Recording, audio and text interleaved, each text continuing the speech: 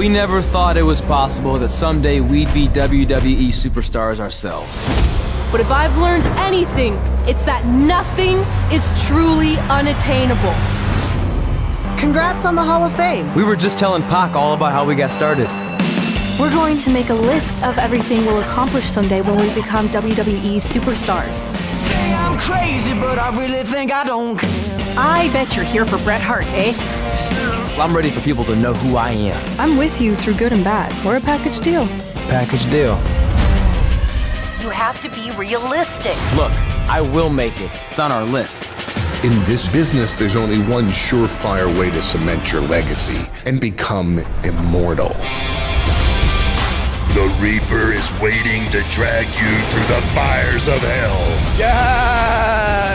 The ocean of reincarnation! Come out here and accept my challenge. If you're not gonna give me a title match, then I'll just have to beat one out of you. You just risked everything for me. Show them why you belong here. Hey! If you want to keep running your mouth, then come over here and do it to my face! You can't recast me! What happens next? Other than Trey running for his life, I have no idea.